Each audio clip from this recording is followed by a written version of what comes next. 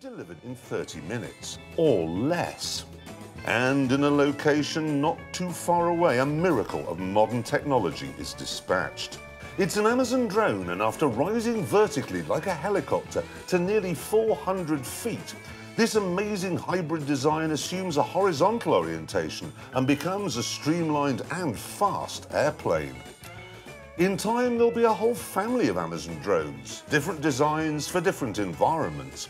This one can fly for 15 miles and it knows what's happening around it. It uses sense and avoid technology to, well, sense and then avoid obstacles on the ground and in the air.